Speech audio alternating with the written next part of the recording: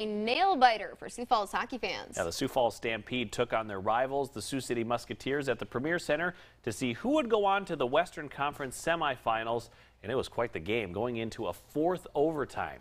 It seemed like the game might never end until this happened. Out to center, and here comes Swankler. One on one, he breaks in. Swankler, back hit, he scores!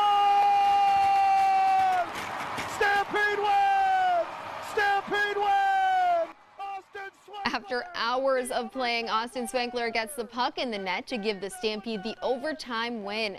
And that wasn't the only reason this game was capturing attention. This game beat the record for the longest game in the history of the United States Hockey League. The puck dropped at 7.05 last night, and the game didn't end until 12.13 this morning, making it a 6-hour and 52-minute game. Ooh, that's a long one. Yeah, now the Stampede will compete in the semifinal game. They'll play Waterloo this weekend in Iowa. And Sioux Falls played Waterloo in the regular season, and the game ended in a tie. So guess we'll have to wait and see.